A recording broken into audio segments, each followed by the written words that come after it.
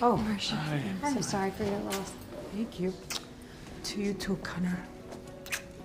Hi. Thank you. Marcia, we'll catch up later. Yeah, Okay. of course. Okay. Congratulations. Thank you. Look how far you've come. Yep. Well, look at us both, right? Um, I'm sorry about everything. I mean, after your wedding, to have to do this. Oh, uh, we're going to head off next week. You know, we've got a little trip planned out. Wisconsin, Minnesota, Michigan, Pennsylvania. Yeah, the honeymoon states. I'm just kidding.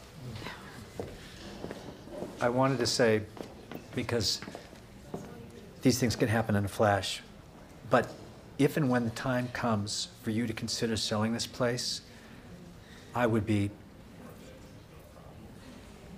I'm worried to even say the words, but I, I would be. No I- need to be ashamed. We're family. I will be looking for between 60 and 70 millions. Oh, right. Okay. Wow. Yeah. So like 63 or Done? done? Yeah, done.